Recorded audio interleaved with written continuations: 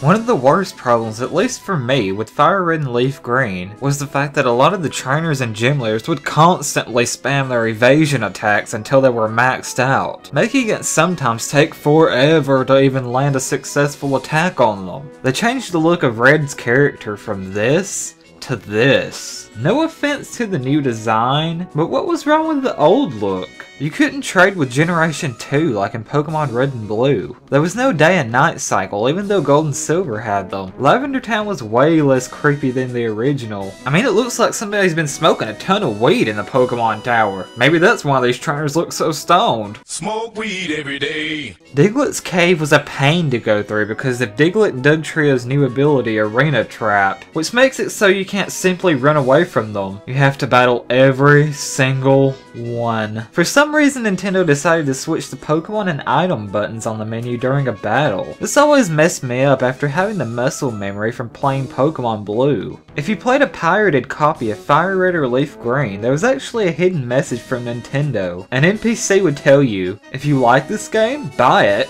or die. The entire game was made to be more kid-friendly. Lots of things got censored, including sprites and text. This was kinda unnecessary in my opinion, as I played the originals as a kid, and it didn't affect me as a person. There's a glitch in Fire Red and Leaf Green where if you keep losing to the Rocket Grunt on Nugget Bridge, you can get infinite nuggets. Double battles were introduced in Ruby and Sapphire, so they were also in these games as well. However, there weren't very many of them, and it would have been awesome to have a double battle against Jessie and James. I mean, they were in Pokemon Yellow, so why not have them here? Speaking of missed opportunities, one of the coolest scrapped battles in Pokemon Red and Blue was the Professor Oak battle. It would have been awesome if they would actually have had this in the remakes. But sadly that didn't happen. Catching them all was a whole lot harder to do in the remakes. For some reason they decided it would be a good idea to include a pedophile Pokemon side quest. They didn't include the feature for Pokemon to follow you, even though they had it in Pokemon Yellow. There was an anti-cheating feature where hacking a Mew or Deoxys would cause them not to listen, ignoring every order you give them. And yet if you get them through glitching, they still obey just fine. And of course, the worst problem with these remakes is having to worry about owning a real copy of them as Fire Red and Leaf Green were very easy to fake and hard to notice if you didn't know how. Pokemon Heart Gold and Soul Silver are probably my favorite Pokemon games in the entire franchise, but they still have their share of problems as well, though most of them are just minor issues and nitpicks. The new male trainer design was just awful compared to the old one. The new Safari Zone had a block feature that would only upgrade after 10 days of usage. So we had to wait that long before we could even get our first upgrade. The Pal Park made a return in Heart Gold and Soul Silver, meaning that if you wanted to transfer your Pokemon, you would have to go into the park and recapture all six of your Pokemon, every single time you wanted to transfer. There's also a vanishing glitch on the GTS. The summary button sometimes got replaced with the deposit button, suggesting the Pokemon had already been traded, even though it hadn't. If a Kadabra is traded while holding an Everstone, it'll still evolve into Alakazam. The problem with people constantly calling you is still annoying. They removed both the Goldenrod City and the Celadon City game corners to censor gambling. Unlike how Fire Red and Leaf Green's intro was an updated version of the opening from Red and Green, Heart Gold and Silver have an entirely new intro, using none of the footage from the intro of Gold and Silver. Why did they make this change? It would have been awesome to see the original intro updated. The new touchscreen minigames in the Wi-Fi Plaza were pretty uninteresting to me. Chikorita was still unfortunately the worst starter to pick. There was still a big level gap between Victory Road and the Elite Four due to a lack of trainers for more experience experience. One of the only ways to get evolutionary stones is winning first place in the bug catching contest which was only held on certain days of the week, and the first place prize was a random evolution stone, so you only had a 1 in 9 chance of even getting the stone you wanted,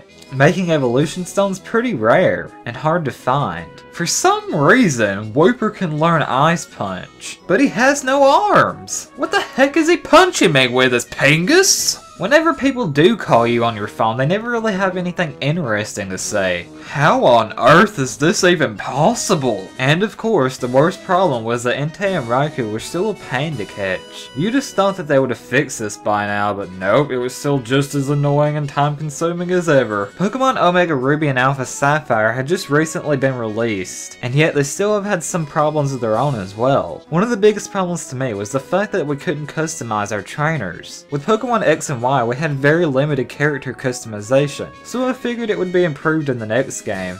But no. Instead we got no character customization at all. I get that they still want to stay true to the original designs and all, but it wouldn't have hurt to let us at least change our clothes. The technology is already there, so there was really no excuse. As I've stated before, a lot of the new Mega Evolution designs were really bad, especially Mega Slowbro. Why not have him look like this instead? Now that would be awesome. Secret bases are way too expensive to furnish. The Pikachu cosplay feature is one of the most ridiculous things I've seen in a while. I mean, what's next? DLC for Pikachu to cosplay as Miley Cyrus? Not only was the Pikachu cosplay ridiculous, but it also broke Pokemon contests as well. There was a game-breaking glitch around the time Pokemon Omega Ruby and Alpha Sapphire first came out, where at the end of the game, at the Hall of Fame, it would freeze when starting the ending cutscene. Why didn't the actual games look like this?